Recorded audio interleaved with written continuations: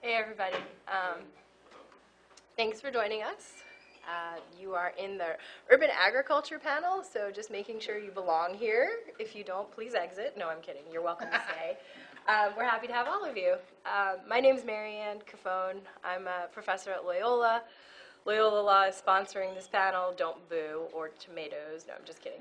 Um, We, we- we love Tulane Law. Actually, we work with everybody here all the time. Um, I'm a professor in the clinical program at Loyola, and so we're very close to all of the Tulane environmental law clinical folks, too. We work with them all the time, which is why we try and sponsor a panel every year at this event because we think it's great and super important for um, folks near and far to get a look at what's going on in environmental law.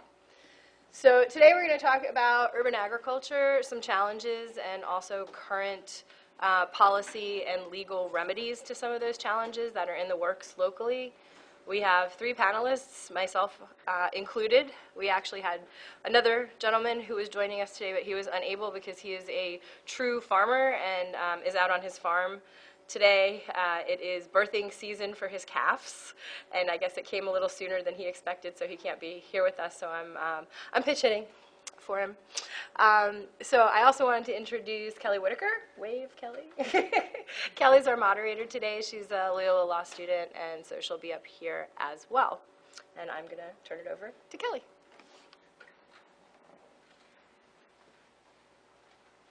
Hello. So um, Professor Cufone pretty much said what I was going to say. Um, I'm a Loyola student, a second year. No, that's great. Um, makes it easier for me. Uh, I wanted to thank Tulane for having me and having us. Um, I'm, I, I love the idea of us working together. It means a lot to me. So I want to say thank you.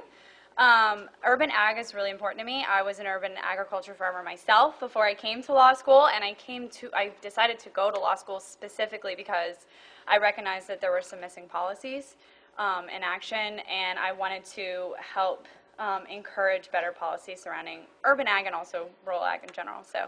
Um, okay, so first, uh, our first speaker is going to be David Young, and David Young is the founder and executive director of Capstone 118 Community Farms, which is a small nonprofit that transformed, transformed previously blighted or vacant lawns in the lower Ninth Ward into productive gardens and orchids. Located in part of a food desert, Capstone grows and provides food at no cost to those who need it. It also assists others in starting gardens or offers available space on capstone lots for people to grow their own food. So without further ado, please welcome David Young.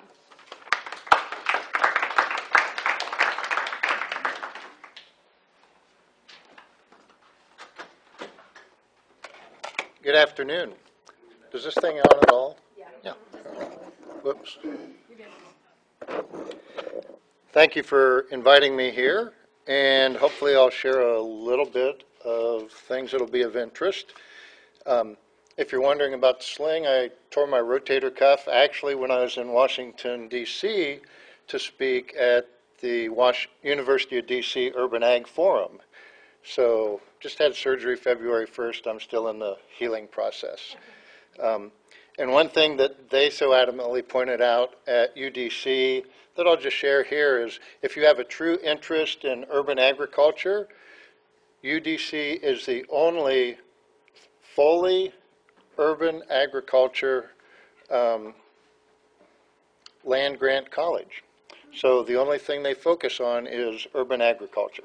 Not trying to give them a plug, but um, having dealt with land grant colleges and agriculture since the 70s, I was just totally amazed to hear that. And then one of the other things they talked about as we talk about urban agriculture is if their drive to become a state um, goes through, then they will be the only 100% urban state. Um, Marianne had asked me to speak on some of the challenges that we've faced through the years. Um, I actually founded Capstone in 2009 and purchased my first lot in 2010. Had not intended to actually grow into the urban agriculture scene like we had or have, but I planted a small personal use garden that was four foot by 14 foot. And soon realized that other people were eating from that garden and a greater need for food than what I probably had. And so we just kept expanding. And for the first two years when I was gardening on that lot, all I knew was people in my community needed food. I was able to grow it and provide some of that healthier food for them. It was only two years later when I was looking at grants on how to expand that I even heard the term food desert. And so um, I'm not saying it's not a legitimate term, but it's a government designation, and it has very specific criteria that are much more advanced than what I just personally saw happening in my own community. Um, but there are grant funds available if you can use that grant terminology properly. Um, my first expansion was in cooperation with uh, Propeller and New Orleans Rede- Redevelopment Authority. I'll refer to them as NORA from now on. And they did a pitch competition. And in my first year, two years of growing and sharing food, I constantly heard from people, Do you have any fruit? We need fruit. So my pitch was to develop a community fruit and citrus orchard. Um, came in first place. That gave us the privilege of spending all of our first place winning money plus a lot more to buy two lots from Nora to put our orchard in. Otherwise, those properties were not even available to buy at any price. Um, so making those properties available is probably one of the nicest things you'll hear me say about Nora today. Um, Since 2010, we've given around 15 to 16,000 food, pounds of food away to people in need. We've rehabbed a total of 40 previously blighted and vacant lots in the lower ninth ward. Many of those have been returned to other family members or back to the organizations they came from. Um, We're currently operating, when I counted this morning, uh, sometimes lots, sometimes come and go. Um, This morning, when I counted up, we're actually operating on 15 different lots right now. And I'm going to just tell you how we acquired some of those and some of the issues that go along with those different types of acquisition processes. So, as I said, our first lot I bought in 2010. I bought that on a bank foreclosure. And at that point in time, it had been listed for a while, and I waited, knew I couldn't afford it, and went back one last time and was convinced by one of the neighbors when I was telling her, I can't afford to buy this. She says, Well, it'll be good to have you here. Welcome, neighbor. And I said, But I can't afford it as she's walking off. So I called the realtor, and the realtor says, Well, they just reduced it, so make an offer. I said, I can't even afford the offer on what they've reduced it to. She says, Make any offer. And so I got my first lot for $2,500 because that was, that literally, by the time we got with, done with closing, took me to where I had less than $100 available. Um, So then, from there, as I said, two years later, that, with winning the Pitch NOLA competition, that brought in a lot of exposure. We had offers from Habitat for Humanity to lease lots. We currently have one where we have a small orchard. We actually have adopted that from a lease someone else had for Habitat. And after we had started our first 30 tree orchard, he liked what we were doing, but didn't do his research, didn't plant trees properly, let them die, um, let the wind blow them out, had lost all interest. And about a month after I sent him an email, I said, Jack, you got to at least mow around the trees. You can't even find them. Month later, I got a call from Habitat, and they said, "It appears Jack's lost all interest. Do you want to take over and start a new lease?" So that's our one property we have. Altogether, we've had five other properties from Habitat. Uh, For various reasons, we've turned those back in. I'll typically give a lot three years for us to make it productive, because keep in mind, every lot we work on before Katrina had a house on it. So it's trying to determine, has this been cleaned up good? Or do we have cement slab under six inches of soil? Or do we have footings and pilings to deal with? And I've got a kind of a personal rule that operating on very low income, being a 100% volunteer organization, we say if it takes two people or a broken shovel to move it, we work around it. Um, And we have some that if we can't do in-ground gardening, then we'll look and see if we can plant fruit and citrus trees there. Um, So we currently have the one lot where we've got some trees that's from Habitat.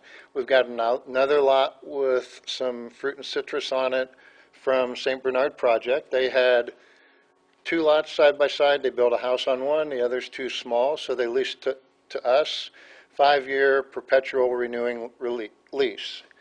Um, we have a couple in Australia that came to the city, fell in love with a lot, and they weren't going to stay yet, but they bought that property, and through a process of having leased it to a couple of other folks that didn't honor their agreements, ended up leasing it to us when they saw what we were doing. We've got a 10-year lease on that, and he said, if we like what you're doing at the end of 10 years, we'll probably just sign it over to you. And that's one of our lots that's on the Holy Cross side. Uh, I've got some lots that a person in Los Angeles has, the tax certificates. Are you guys familiar at all with what tax certificates are? That's when the city takes something that has back taxes, and rather than you just informally paying the back taxes and then after three years say, I want it, the city actually does an online auction.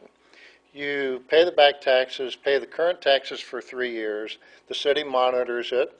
The current owner has the opportunity to pay everything you've paid plus penalty and interest. After three years, you have the option of applying to get full title, or what I just recently found out, if you don't want to start that process yet, even if they do come back, they have to give you what you ask for the property. And then, if you don't accept that, then you're required to apply for the full title. And that comes into play with us where I'm looking to grow food on them as opposed to wanting to sell them. I don't need a full title to grow food. Um, the titling process could quite often be twice as much as what the property value of these properties are. So for me, unless we come up with a specific need to sell them or construct on them, we'll probably just continue to pay taxes and let it be in that state of limbo without spending $7,000 to get a title on a $5,000 property. Because it has to go through advertising, attorneys, court, and all this. The one thing that I found out with the tax certificates is even though online it says no hidden fees and all this, um, you have to do good background research. I bought the tax certificate on the one. The next tax year, I got the tax statement, and it's got a $6,000 demolition lien listed as due for taxes. So I sent an email to the treasurer, never got any response. Talked to my friend Mary Ann here for some legal advice, and we decided to just wait and see what happened. The next year, the tax lien was gone, but there was a $1,300 new fee for miscellaneous fees. So I decided, just to get the tax statement down to a zero balance, go ahead, pay that $1,300 miscellaneous undefined fees, um, because if you're supposed to be paying the back in current taxes, and you leave any part of it underpaid, then you've lost everything you've put into it. So it's like the city has you right where they want you. Um, when I called the auction company about the lien and their statement of no hidden fees, they said, well, didn't you do good research? I said, no, I took your word for it. And, and they said, well, the city doesn't always tell us everything.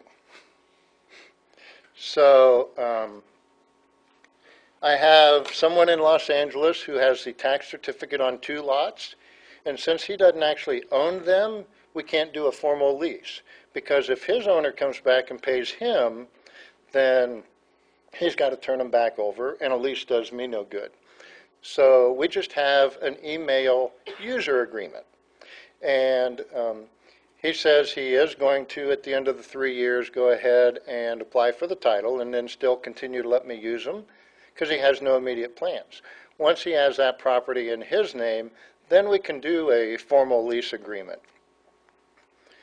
Um, let's see. I've got my own personal house that I bought from a estate when they listed it, and it's been now rebuilt twice since Katrina. It was rebuilt in 2007, and they didn't treat right for termites. And so when I bought it in 2012, all the load-bearing walls were gone. The back wall was completely just a solid termite mess. So for the second time since Katrina, we gutted it, and over two years' time, uh, and about 60 volunteers rebuilt it. I bought the lot beside me from Nora. I applied for alternative use program that they had at that time. That's where you're going to do something that will be green, not building on it. Currently, we have an aquaculture system on there. It's the largest one in the city. Um, I applied, talking with the guys who were the representatives during Pitch NOLA, and to this day, even their replacements call me one of their shining stars for their programs. Um, these guys told me for six months, oh, yeah, we just got to staff it, you're approved, all that, no problem. Finally, six months later, they didn't even tell me. They told someone from Propeller who told me that they said, oh, David can't buy that lot under the alternative use program because he lives right next door.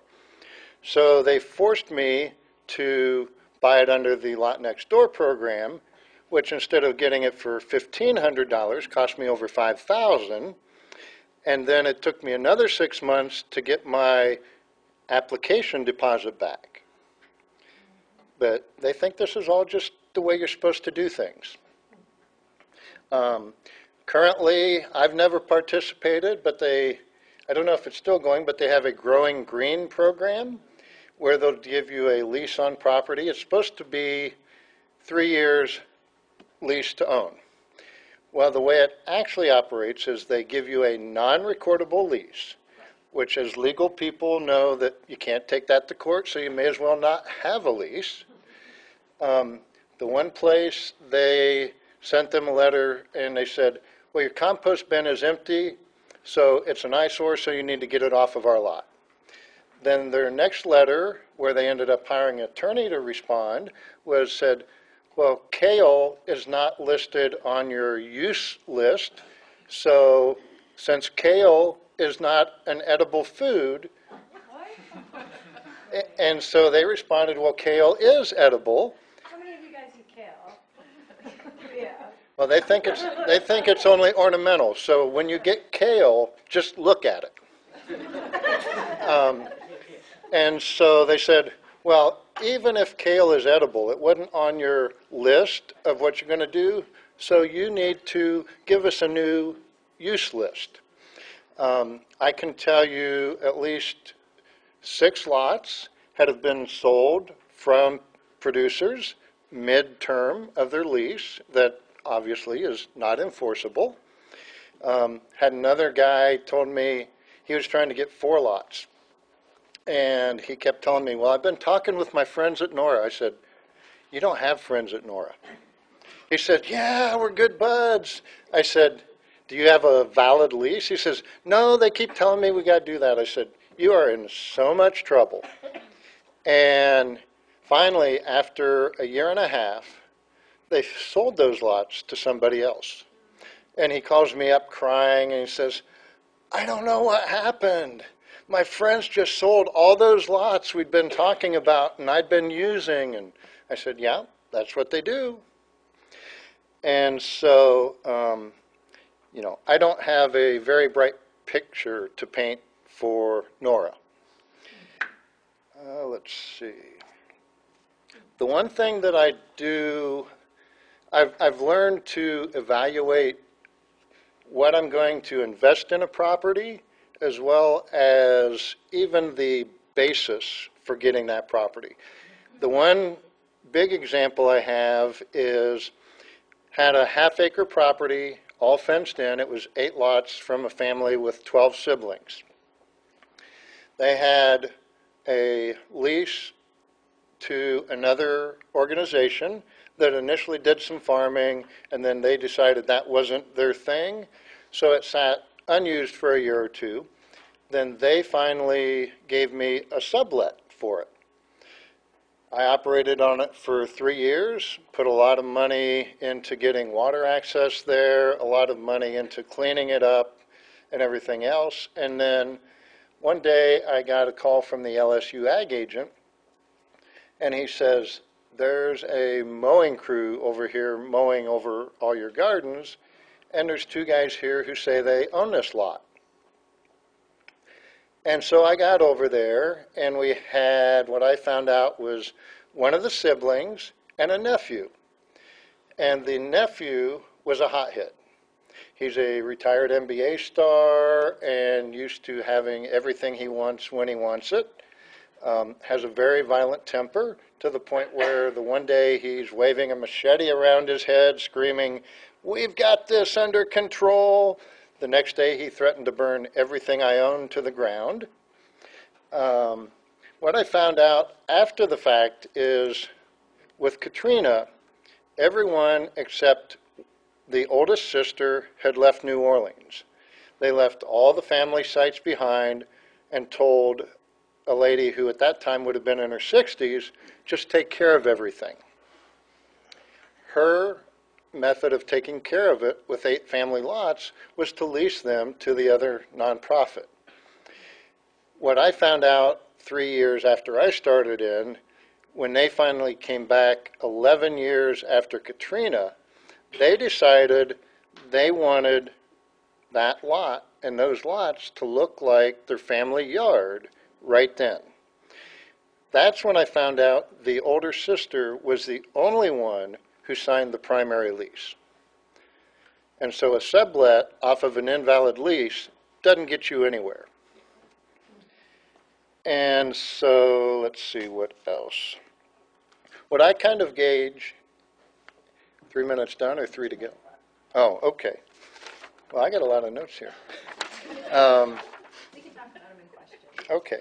I mentioned water access. The city of New Orleans does have a process where you can get water for paying for the water only as opposed to sewage, which is based on water usage, three times more water, plus your sanitation or trash disposal.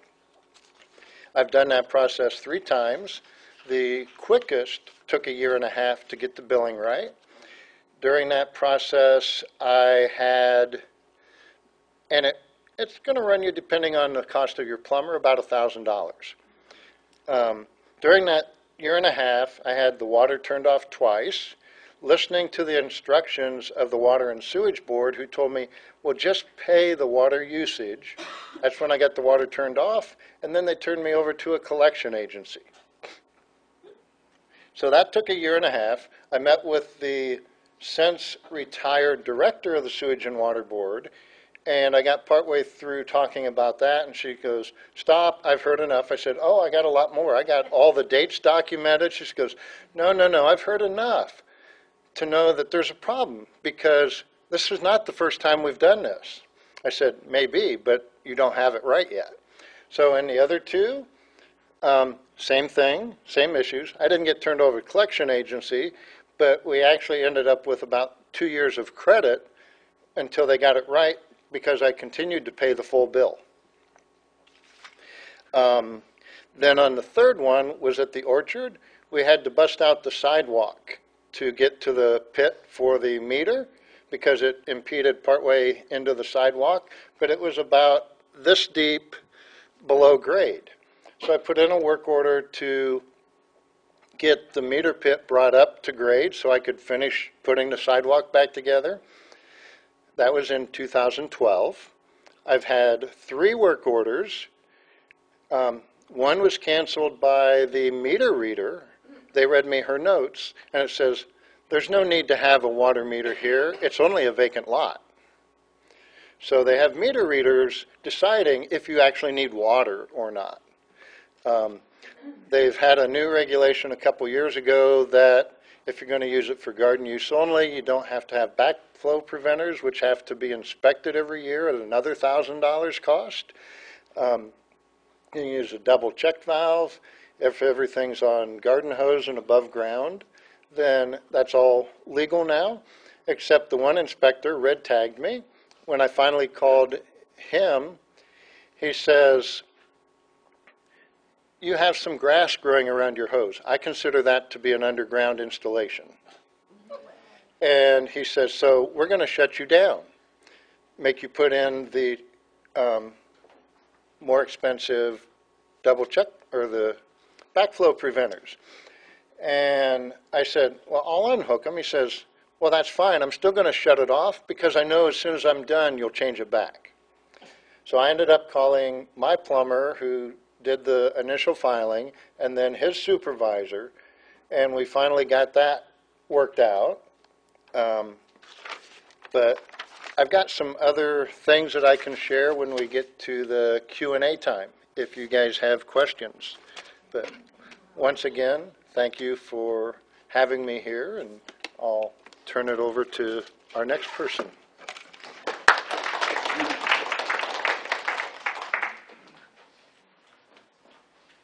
Thank you, David. Um, Just as a side note, I know there's probably a lot of law students and lawyers in here, and um, I personally find myself in need of sun. So last fall, I had the privilege of volunteering at um, Capstone, David Young's farm. So if you're ever in need of some sun, I'm sure he would love some volunteers. So you can just um, contact him about that. Or community service hours. Or community service hours to graduate, because I know we all need pro bono hours as well. Um, our next speaker is Sean Pepper Bowen. She's the founding director of Culinaria Center for Food Law, Policy, and Culture. She is also co-chair of the New Orleans Food Policy Advisory Committee and a steering committee member of Regional Sustainability Committee. Pepper holds a BS in Com- Computer Information Systems from Tulane University, an MS in Computer Information Technology with a concentration in e-commerce, and a JD from Loyola University School of Law in New Orleans with certificates in both environmental and international laws. Thank you, Pepper.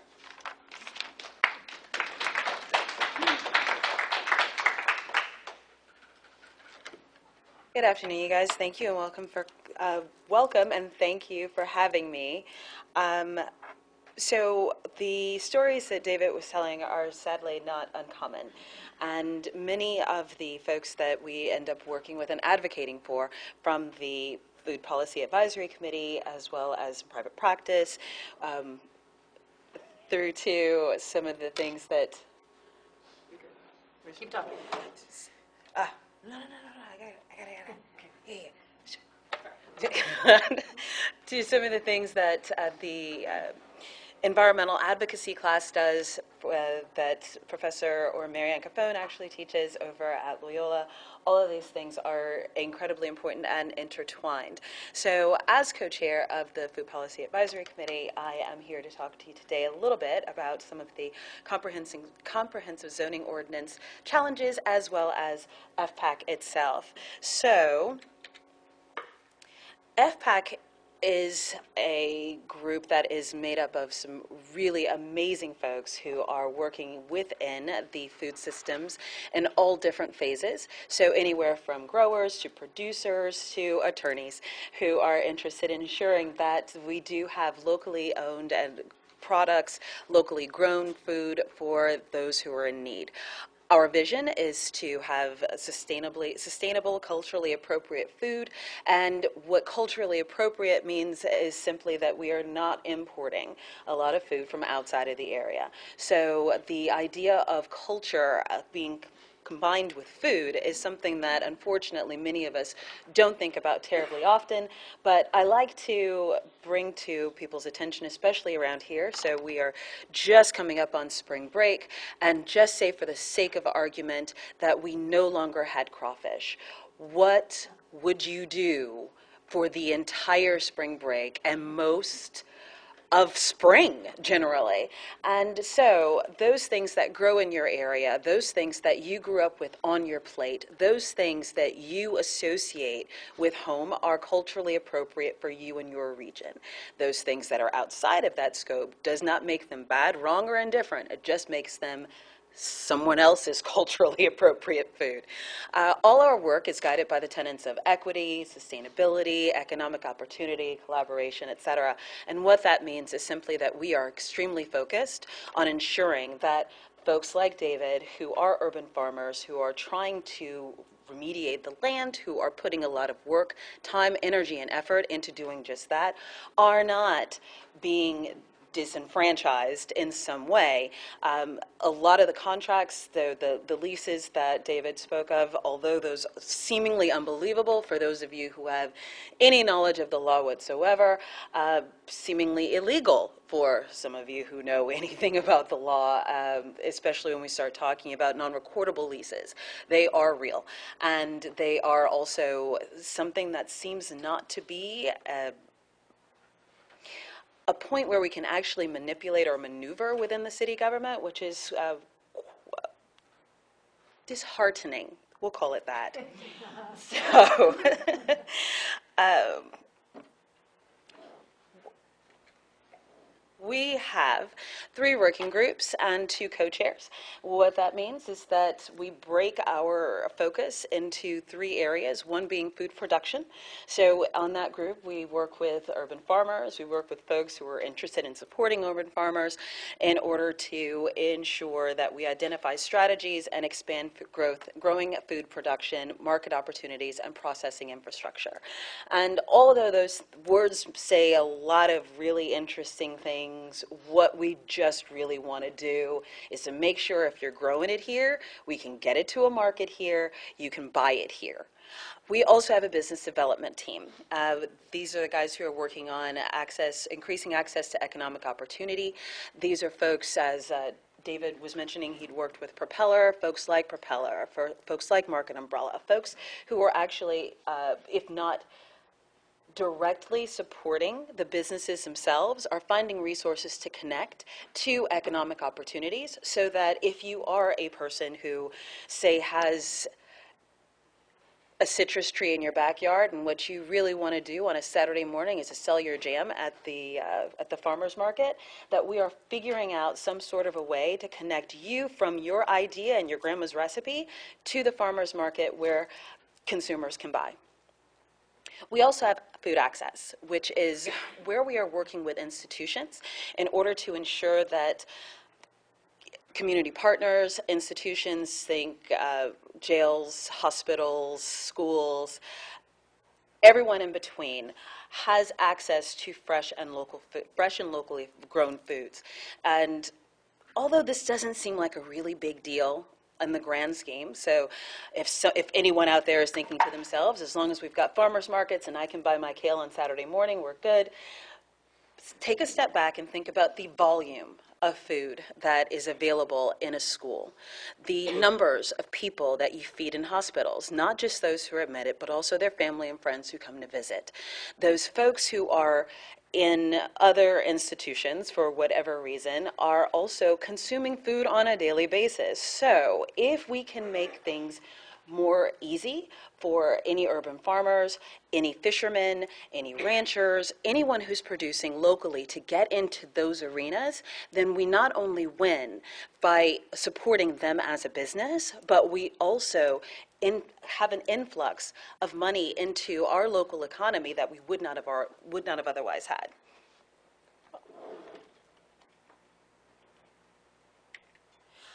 So, our mission, as mentioned before, is to shape public policy and improve equity, opportunity, and collaboration. We are based on a coalition, a broad-based um, uh, broad-based coalition of organizations, businesses, and individuals who are working to make this happen. And the reason is this set of fast facts. So first and foremost, you need to eat.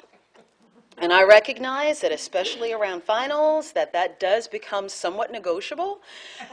But as a general rule, you do need to consume something on a daily basis. Conversely, we are faced with 41 million people in the United States that are faced with hunger and struggle with food access and food security on a regular basis. We have nearly 100,000 New Orleanians who are food insecure. And just to step back for a second, food access is just that you have a way to obtain food. Not that you get it on a regular basis, not that you can afford to continue to feed yourself. That is food security.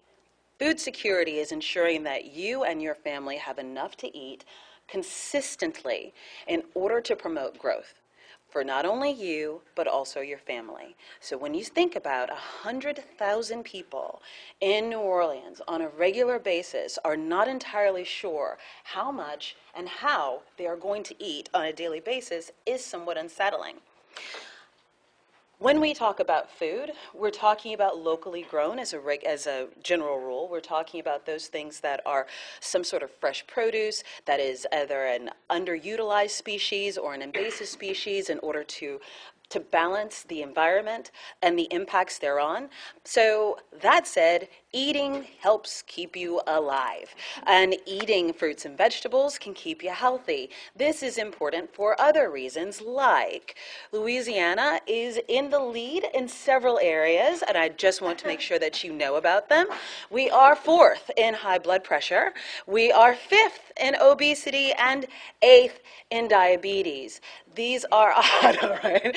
That's all I got, right? So the the bottom line on this, folks, is that. Uh, these diseases are preventable diseases and they are food related. When we stop eating, or at least decrease the amount of polysaturated of uh, fats as well as sugars and salts that we consume on a daily basis, replace them with locally grown fruits and vegetables, then we do have a less lesser chance, uh, excuse me, a diminished ch- chance or opportunity developing pre- preventable diseases because by definition they are preventable. But moving on. So the lack of healthy food access contributes to these preventable diseases. We talked earlier, or rather David mentioned earlier, the food and I personally love the term food desert. I really do. And the reason I do is because of the way that we frame it, uh, not from a legal perspective, but from a social perspective. When you think of food deserts, we think of the corner store where you can get cigarettes or you can get um, meats, you can get liquor, you can even get your oil changed, but you can't get fresh produce. You can, but for some reason, we never stop to think that if you live in a neighborhood where you have a high end wine store, where you have a boulangerie, where you have a cheesemonger, or even some guy who's in the back butchering, you are still in a food desert.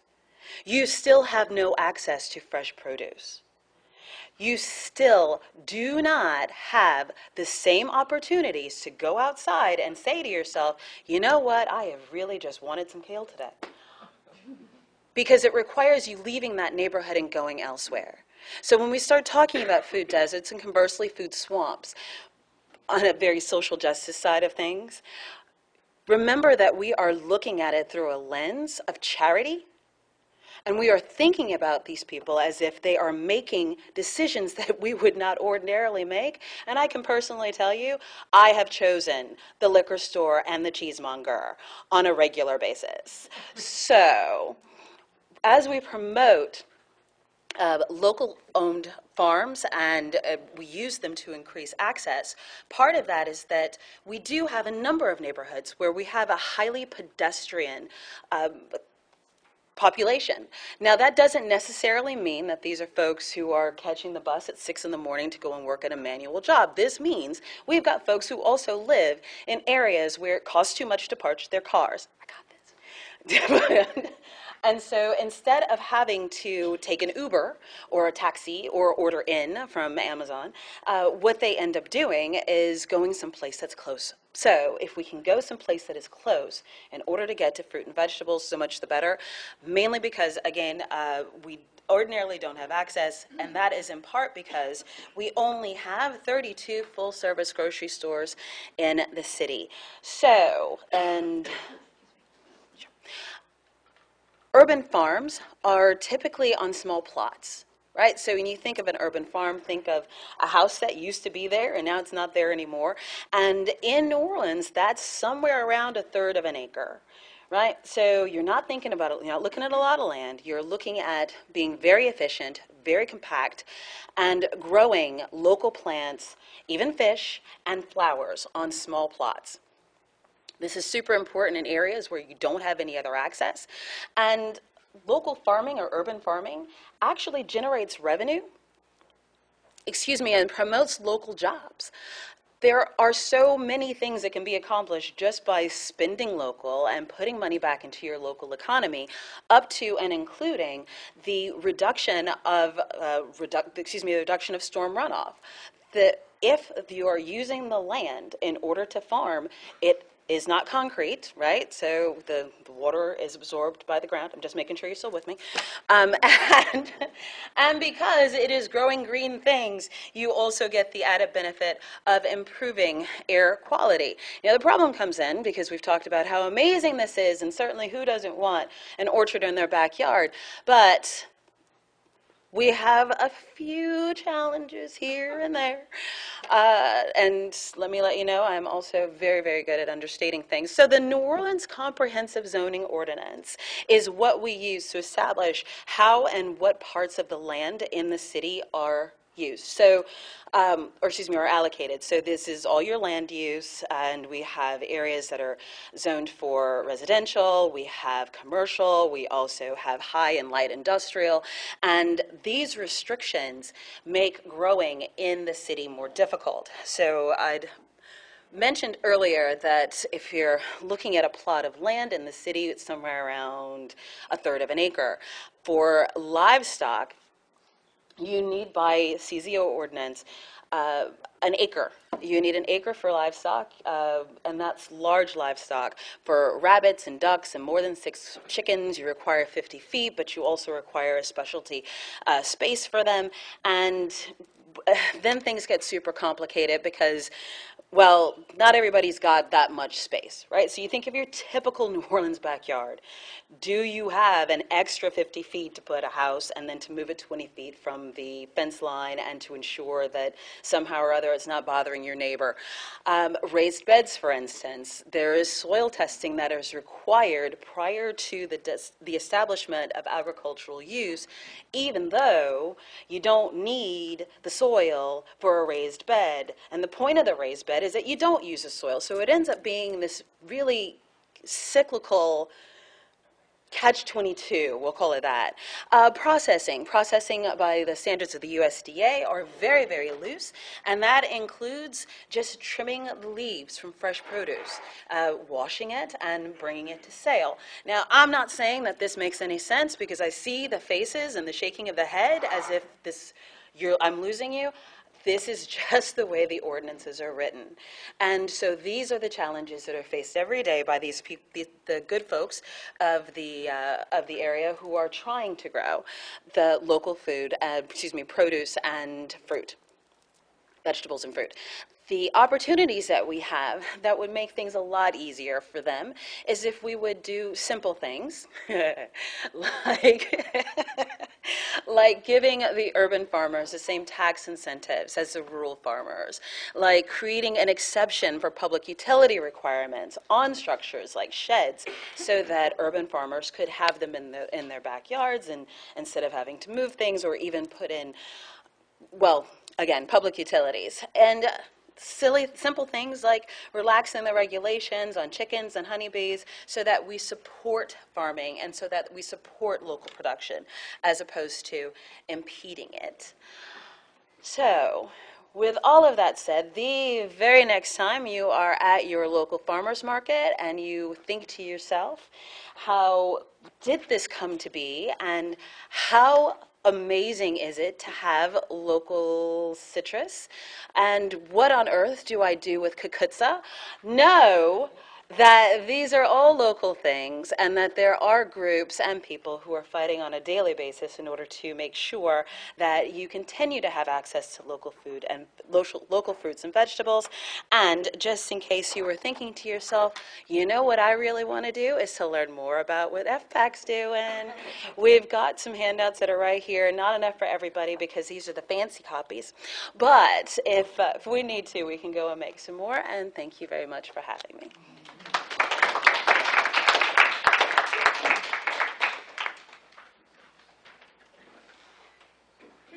Thank you, Pepper. Okay, our next speaker um, is a professor of mine um, that I have right now, who I really adore. So, um, uh, Marianne Cufone is an environmental attorney and a longtime food justice advocate. She's the executive director of the Recirculating Farms Coalition. She runs the Environmental Policy Lab and the Environmental Law Program at Loyola Law and sits on assorted advisory boards for the City of New Orleans, federal and state governments, and nonprofit organizations. She's admitted to practice law in Louisiana, Florida, and the United States Supreme Court. Please welcome Marianne Cufone.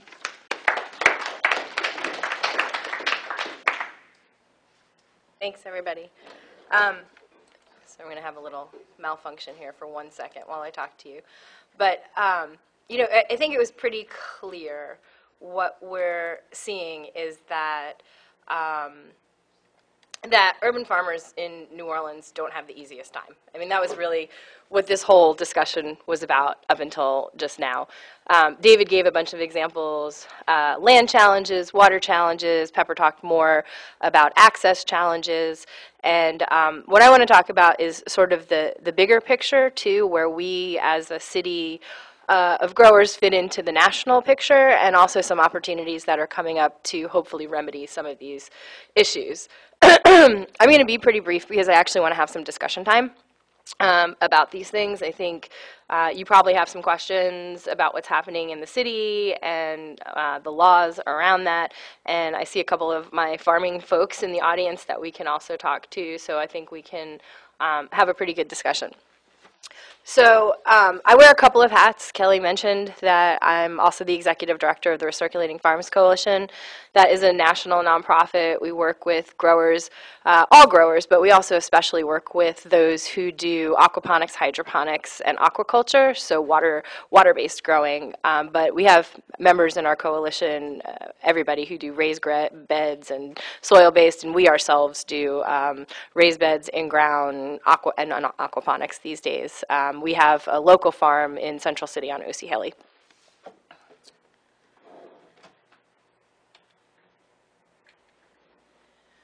So, you know, I've been working in um, urban ag for, I guess, maybe now 12 years. And some of the challenges that I've seen over time, especially in the legal and policy context, is uh, urban farmers being recognized as real growers. Um, we fight pretty regularly with USDA about offering support to our urban farmers. We've done a couple of series with USDA these days about getting our growers here the same type of benefits as um, those who have rural farms. So things like loans or insurance or um, equipment, you know, USDA does a bunch of equipment share, but you have to be a real farmer and you have to prove that you have a real farm and you have to register your farm before you can get access to any of those benefits. And um, in the past, USDA, we would come and we'd say, well, I have a tenth of an acre, and they'd literally laugh you out the door, like, are you kidding me? That's not a farm. Um, but now uh, they really have opened up to this over time. We've been perpetually dragging them out to urban farms and showing them that we're growing real food and that they look like real farms and that our growers are, in fact, real farmers producing real food for real people in a city that desperately needs it. So things, things are happening uh, in that arena.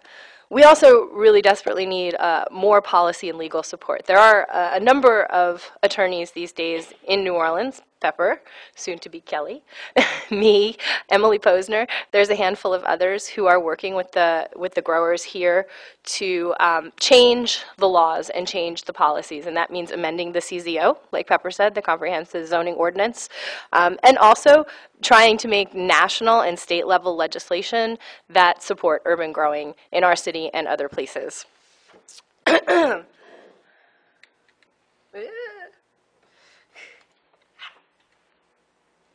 So one of the things I wanted to talk about today is that we actually have um, a National Urban Agriculture Act happening at the federal level. It was introduced originally in 2016 by Senator Debbie Stabenow of Michigan.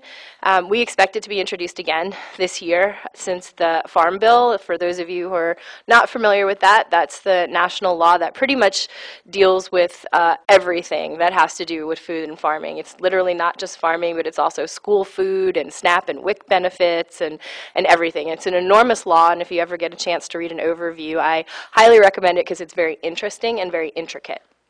So this National Urban Ag Act that we're hoping to see introduced would uh, essentially become a part of the Farm Bill and would be reauthorized on the same schedule as that.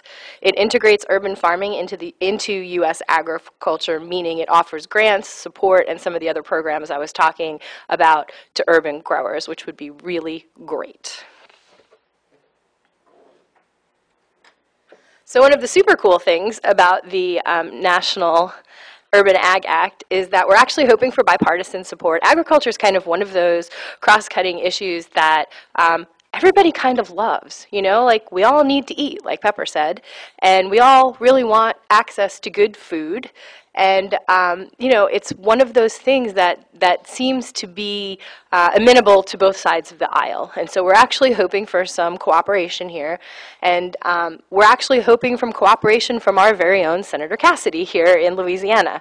Um, as you probably know, Senator Cassidy is also a medical doctor, and so has some interest in health and wellness. And so we're kind of pitching him on that aspect of things that, hey, doc, um, we have a sick state that you represent. Uh, what were our stats again? Fifth in obesity, fourth in blood pressure, eighth in some other terrible things, diabetes. So we have a sick state, and you represent us, and hey, don't you want to help us get healthier? So we'll see what happens. Um, also, we've been uh, pushing him on that. Uh, New Orleans itself is a leader in urban ag. That we have a lot of farms here. Maybe y'all don't know that, but we do. We have uh, a list of urban growers here, and we have over 75 people on that list. And so we have quite a number uh, of farms here, and many more coming. Um, and so, you know, we're we're a good place for uh, the Urban Ag Act to be sponsored. So I just wanted to quickly go over some of the local uh, initiatives that we're working on that will also appear in the in the National Urban Ag Act. One is green roofs. You heard David and also Pepper talk about how space is a challenge. Even though we have something like 35,000 empty lots, it's actually really hard to get access to them. Um, real estate in New Orleans has been perpetually becoming more valuable, and landlords in New Orleans perpetually want to make more money. And um, leasing to a farmer maybe isn't the most you know, financially um, beneficial use for these landowners. And that's a challenge for farmers because a lot of landowners would rather see their lots go empty and sit there um, in the hope that in the future they can make a million dollars off of it rather than let a farmer work on it and, um, you know, have that lot appear to be taken. So that's a big challenge. So we started talking about what can we do about that. You know, even though we have all these abandoned and blighted lots, um, if we can't use those, maybe we can go up. And so we started talking with the city council and the state about uh, instituting a green roofs initiative. And that would mean um, that businesses and hopefully too residences would get some kind of tax credit for um, having a green roof. That way, um, they would reduce energy. Uh, it also reduces heat, and it's a, it's a nice uh, ecological benefit. It's a nice personal benefit for the business or the residents, and uh, it would be a great benefit for for growers because essentially, you know, a business or a resident might contract with a farmer to put the green roof on. The farmer gets a place to grow, and the business and the resident gets a free green roof. So that's what we're hoping. Um, so we're really working on a, a tax in- incentive right now to see if we can get the city council on board, see if we can get the state on board. Hi, Kevin. Say hi. Kevin's one of my students, and he's actually working on this as a project this semester. So if you have any interest, you can talk to him. Um, so we think it's a win-win. Uh, that it would be great for businesses, residents, and also growers. Fingers crossed that other people think that too. If you have interest, this picture is uh, Brooklyn Grange in New York City. It's an amazing farm. My friend runs it. Um, and it is literally uh, several acres of a farm on top of a rooftop in Brooklyn. Very cool. So the second thing that we've been talking about is these lots. And how do we get more landowners to agree to actually have a real contract with growers here? Because that's part of our challenge too, is that there are people purporting to be landowners who aren't and making leases with people and then people being sued for trespass. Um, you know, as David said, somebody signs a lease, but they're one member of a family and the next thing you know, all of your crops are being plowed over. I mean, we really have had a lot of um, drama and trauma here with urban farming, and it just shouldn't be the case. So the other thing is that a couple years ago, actually one of my students um, worked on a Urban Ag Incentive Act, perhaps somebody in the front row um, who spoke before me, uh, worked on an Urban Ag Incentive Act and got it passed at the state level in Louisiana. So we actually have this on the books, thanks Pepper, um, and, uh, and it needs to be implemented at the local level. So we are still uh, working with the city council to, um, to get it implemented in the, in the city of New Orleans. So the state has agreed to it, and now we need it at the city level. And that would be really great. We're hopeful that that, that will happen in the next year or so. So the last thing I just wanted to say, what can you do? Well, You know, we're here all, uh, you know, crying about what's happening in urban farming and talking about some of the opportunities that we have to fix this, but we really, we need help. Um, a handful of people can make a difference, but even more voices make an even bigger difference more quickly. And our city needs food. Um, everybody wants access to healthy, fresh food. We are uh, a city of uh, an amazing cultural um, feeling toward food, but everybody's food opportunities and experiences are not the same. And we need to work uh, on leveling that. Um, so if you are interested and if you are willing, especially those of you who are going to be or are just becoming lawyers, your voice really matters, and this is a great thing to work on um, as a, a beginning, which is call your city council and get involved in the process. Call your state legislatures and get involved in the process, legislators, and get involved in the process. You can sign some petitions. You can help these growers grow and do more for our city. Thanks.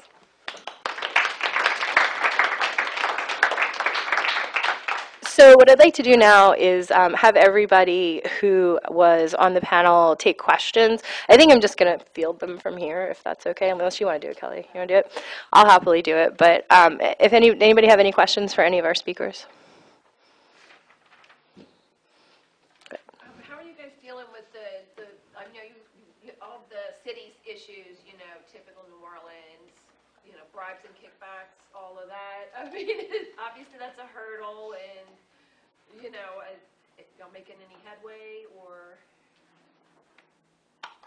it's typical stonewalling, right?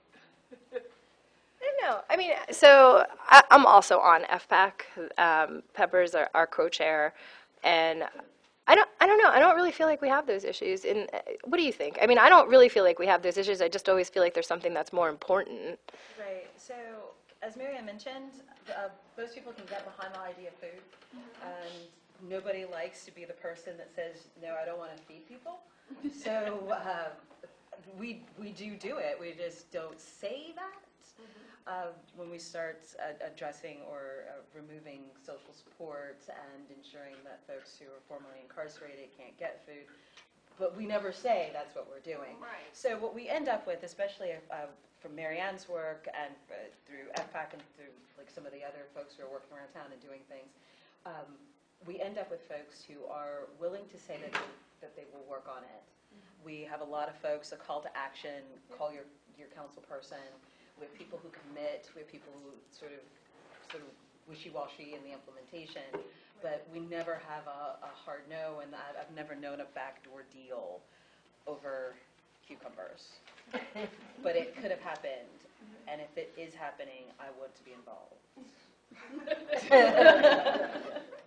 There's an upside to that, right? And I've not seen it come into the growing aspect, but I've also done construction on the site for 40 years. Mm-hmm. And I did see it take place with an apartment renovation because the utility's been out for six months, and so they had to bring everything up to code. And the plumber at the time says, well, your owner has three options. Either tear apart these finished walls so the inspector can see every pipe joint, or you fix the obvious things and pay them a little bit, or you don't fix anything and pay them a lot. Right. And so I was there when the inspector came, mm-hmm.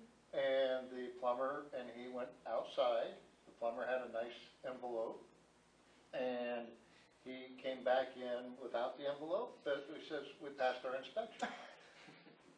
I said, do you mean to tell me bribery is alive and well in New Orleans? He says, has been, always will be, it's the only way you can survive. There you go. No, that's what I thought. I paid a ticket like that, uh, traffic ticket in Tijuana. My cousin paid me twenty bucks, but. Uh, I just want to ask, I, I uh, sometimes help somebody who has um, a small plot and gardens, um, but he could use some assistance with uh, getting connections, how to sell the food, so, uh, is that, was Yeah, that your organization that? uh, Yeah, so we, we do have, we do have some folks who belong to FPAC who are involved in, again, uh, some of the farmers markets. There are also some folks who are involved in, in uh, large organizations like, say, Second Harvest. Um, We've got some people who are involved in, uh, who are rather restaurateurs, so like Liberty's Kitchen, for instance, sits on our board now, or, yeah, our steering committee. And so the, um, so the idea is that, yeah, I- I'll give you my card and we can connect and, and find some sort of a way to get his stuff to market. And I also just want to mention um, Top Box Foods. I don't know if y'all know them, but they're um, you know relatively new, a couple years now. They deliver fresh food to neighborhoods who don't have grocery stores, and they're starting to source locally. They uh, buy food from my garden, and they're looking for other local farms to sell food to. Um, recognize that their mission is to provide food for lower income neighborhoods, so that not yet. Not yet, not yet. They're expanding slowly. They're expanding slowly. Um, but they're doing really good work. Top box, yep. They're doing really good work, and they're, um, you know, they're they're actually two Tulane kids. One of them graduated, and one is still in school. So I, I don't know about you guys, but I was out drinking when I was their age. So they're delivering food to low-income neighborhoods. Um, so I, you know, I think they're they're trying to do really good work, but just recognize that that needs to factor into your budget. That they're um, that they're you know trying to keep things af- affordable, and so we sell, sell it at a, a lower cost to them than we would say a, a restaurant. Something to think about. So I've got a question perhaps more for Pepper. If you go back, oh, let's say in the last four years, you had good eggs Oh, sure. that had a very good Yeah. market delivery, very favorable for a lot of growers, including us. We sell Capstone Raw Honey, and they sold a lot of honey for us. Mm-hmm. They had a market that was able to find a higher dollar niche market where they delivered, took online orders, and really got the growers top dollar for their produce. Then their parent company overnight shut them down in New Orleans. Um, and now, as you talk about farmers market, just, I think it was last week, got a notice that Hollygrove has now shut down.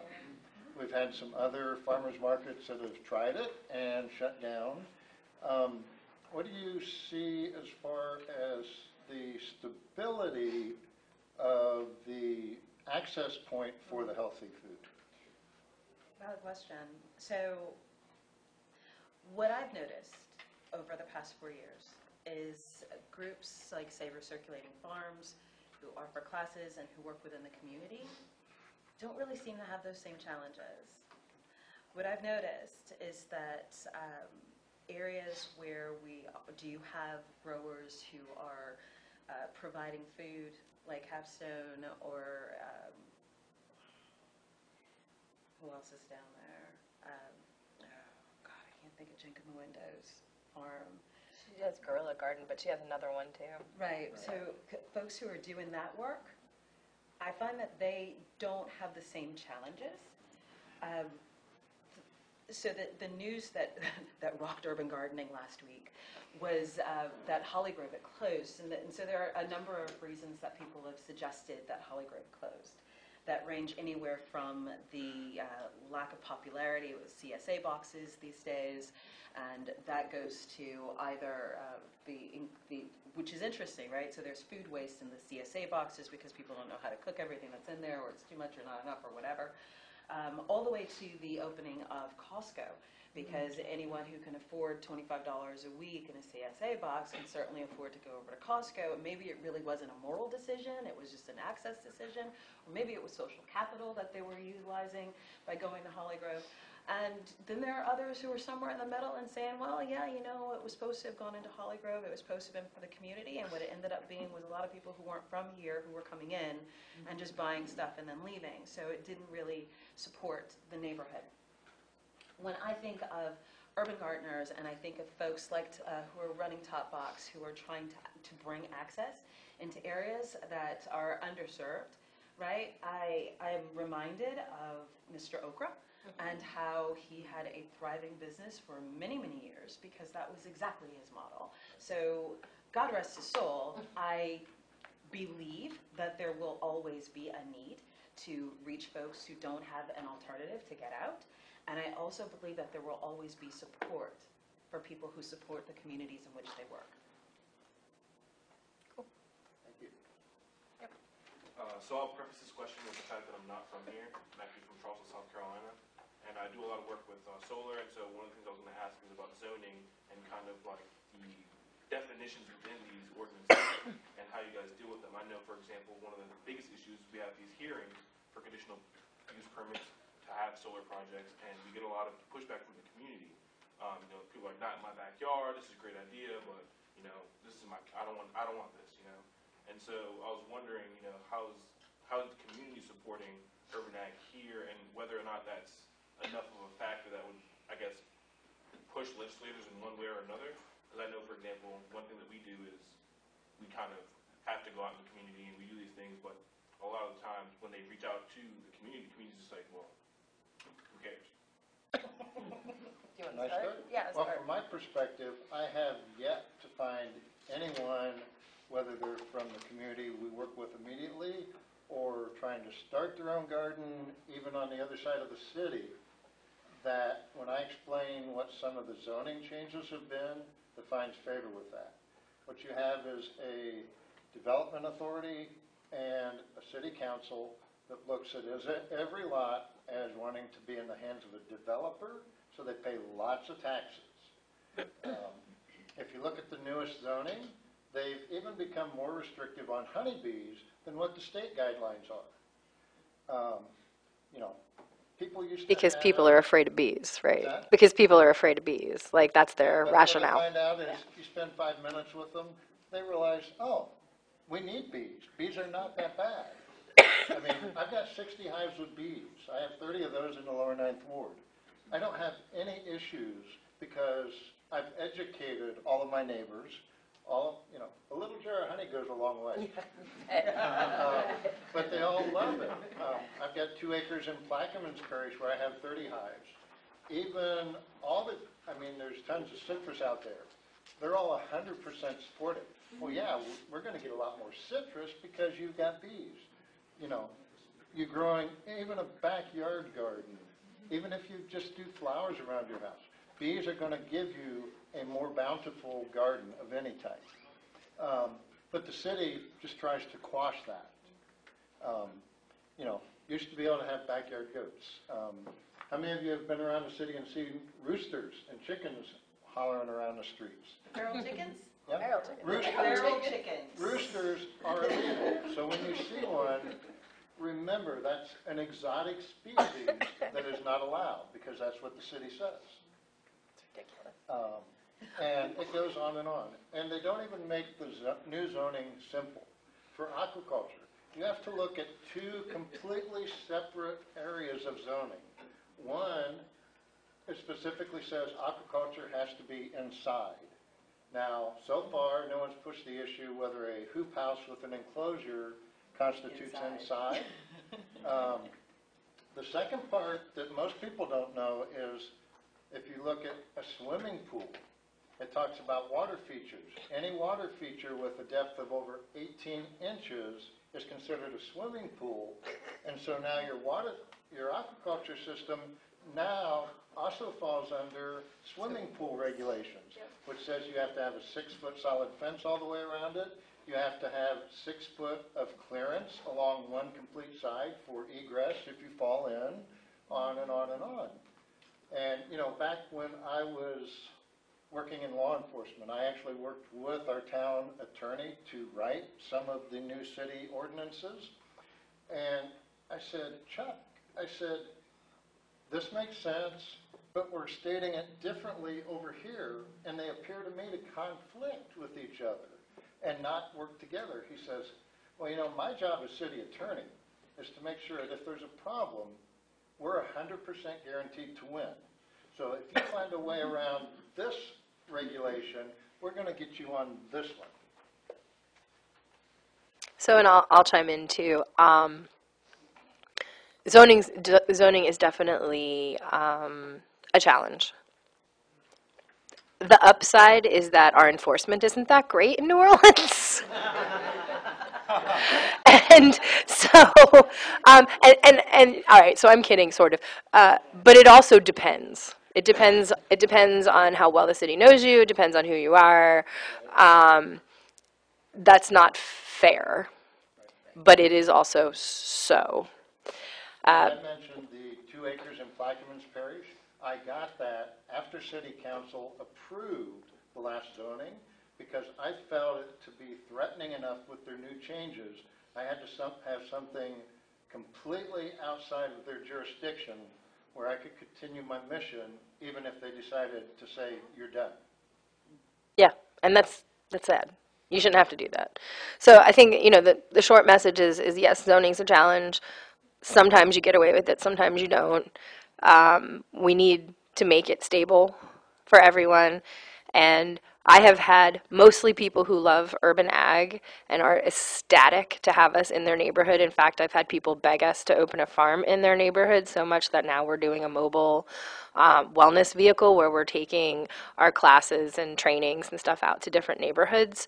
Um, but I've also had the opposite where um, they built they uh, the developer in our in our neighborhood built four townhouses across from my farm in Central City, and they sold for five hundred thousand dollars each. And they considered our farm an eyesore and a nuisance instead of a benefit to the neighborhood. And they consistently complained to code enforcement, which was completely untrue, that our compost pile smelled. Our compost pile was on the um, far right corner of a half acre lot, which means the um, townhouses across the street not only couldn't smell it, but couldn't see the compost pile. Um, and the compost pile actually backed up to Houston's restaurant, who loved us and never said a word about the compost or the chickens that also abutted their restaurant because we would give them herbs and things for the for the um, restaurant. And so, it, you know, it just turned into a not in my backyard. So I, I have experienced both, depending on the on the person. Yes.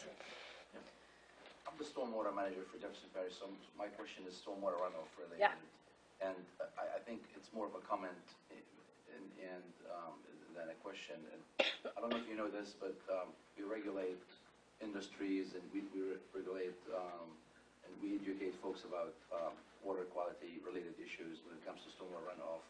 Except the farming and uh, the groups, they're very strong and, um, and, and, and- nobody can touch them when it comes to, um, to, to reg- regulation, environment, since we're in in an environmental um, law summit, I I thought I would bring this up.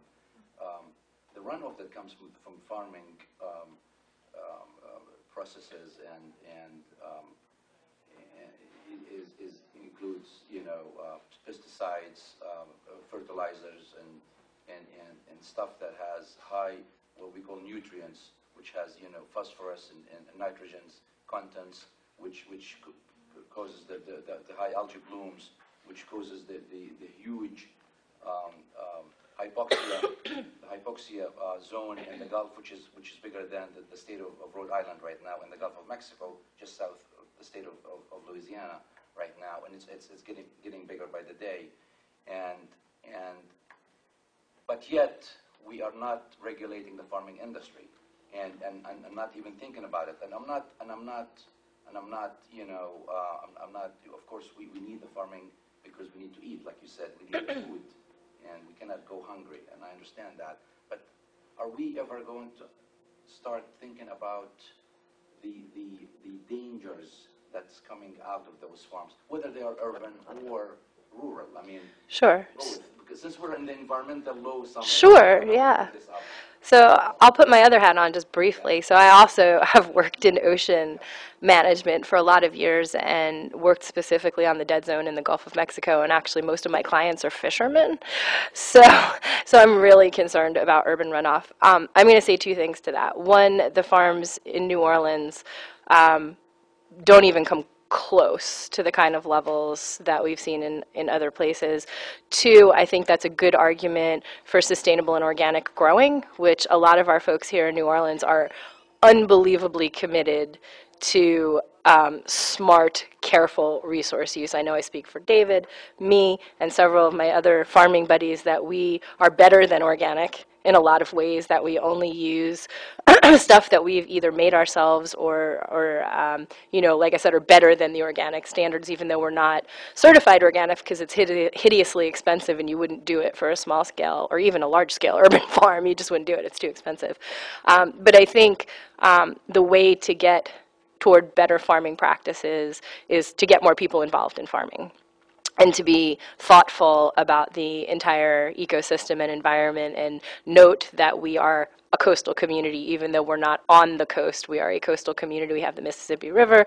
We connect directly to the bayous. Um, and i do and i do think that's something that needs to be built into smart good farming practices even in a city. But i can tell you from my experience with all of the growers here we are we are a very clean green bunch of growers. So, yeah, go ahead.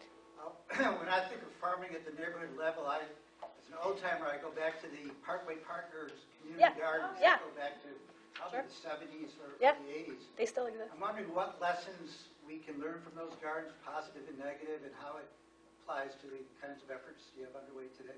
You guys want to talk about that? Want me to talk about it? okay. Um, well, so you know, it's funny. We had a, a whole conversation about like victory gardens and and such in my in my classroom like this week, because um, you know, farming has been a part of of urban living for a long time. I mean, we maybe lost that for a little bit somewhere, but it's it's been an important part because it's not just about the food. It's also about the community. It's also about the socialization. It's also about um, feeling like you've you've achieved something. I mean, I know for me, there is nothing better than when I put something in the ground and I can eat it a couple of months later. I'm so excited about that salad. It's just like the best salad you've ever had or the best strawberries you've ever had because you, you did it. Um, so I think there's I think there's more to the urban to ev- to all growing, but especially urban growing, um, than than just food. As if that's not enough. Um, and I think you know we've learned a lot that community gardens bring community. So I think that's something that's really really important. I, I wanted to mention one more thing about stormwater, since we were talking about stormwater. The other thing too, and Kevin's working on this, is that a lot of these farms are great for stormwater management because we flood so much in New Orleans. He was talking about earlier. Yeah. Right, the infrastructure, yeah, because we can absorb more water, we can channel more water. Since we are in, in fall, uh, actually, this is, we, we teach people that because we want to retain our, our um, stormwater, because we, we we cannot just keep pumping it and- Right. into, um, Yeah. into the lake, because the more we pump, the more we pollute. I mean, That's I right. mean, uh, Face it, I mean, this is, this is a fact. Yeah, so I think We it's a want- good We want the trees to, to drink the water rather than pumping polluted water to the lake, I mean, that, or to the river. Right That's a on. fact, David? yes. Um, I wanted to comment on the water drainage as well as the rooftop garden. Yes. Can you look at that real quick? I can. Do you still want to do that? Or do we have someone that can? So go it? native trees, Yeah, we're in. go native trees, Anyway, native, so, um, I want you to be in charge of the things that. come talk to me. Yeah, I'm gonna give you my card for that. So I mentioned University of DC, and one of the things that they focus on and have tons of use in DC is rooftop gardens, because DC has already done the drain water initiative. Yeah. DC, not only you're looking at different tax rates, but you're looking at penalties if you have runoff water. Yeah. Um, The latest building that is let, LEED, I think, two or three that UDC has, they actually have like 30,000 gallons of underground storage. It's piped up to the roof for their green gardens. Um, I toured even Washington Stadium, where above all the flat roof of all the concession areas, they're doing container gardening, five gallon, or milk crates with five gallon containers in those milk crates. The entire rooftop is coated in entirely growing food or succulents. Um, we saw another one on top of an old parking garage, the top floor, another one on top of a hardware store. Um, every commercial building, they're almost paying people to put green gardens there so they don't have to pay the taxes and the penalties. And so, um, the other thing on the water runoff that Mary Ann talks about recirculating farms and what we're doing. Um, with aquaculture, or many times hydroponics, we're actually recirculating the same water. Um, so I can grow using seventy-five percent less water than my in-ground gardens. I also have eleven hundred gallons of water storage from my roof. And so it takes two inches of rain to fill those barrels, but it will also keep my animals watered and my aquaculture topped off for five weeks without rain, where I don't have to use municipal water. Um, so there are We do some. have, I, I- I recall last year, we went for- for almost two and a half months without any rain. That's right. I mean, that's much, we, we get 65 inches of rain a year, which is, which is astounding. But, but we do go for a long time Sure. without any rain too. That's why which storage which is important. Semi-drought, you know, periods of time. So we do, you know, we, we do need that, that, that much, you know, um, water in those areas. I mean, So gang, I just want to tell you, we're past time. I'm happy to stay and talk and answer more questions. For those of you who have to leave or want to leave, you're welcome to, but I'm also happy to stay and talk more. So I just want to say thank you for coming. Thank you to all the panelists. Thank you to Kelly, who had to run out and take care of something for us. Um, And we'll hang out and talk.